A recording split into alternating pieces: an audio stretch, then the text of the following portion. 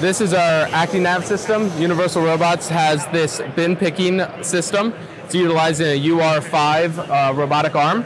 This is doing random part picking out of a bin uh, with a 3D vision system. What the overall system is doing is the UR5 is picking that part. It's putting it into an intermediate position, which helps us with our positional accuracy. With traditional bin picking, you oftentimes don't have the accuracy required for many robotic applications.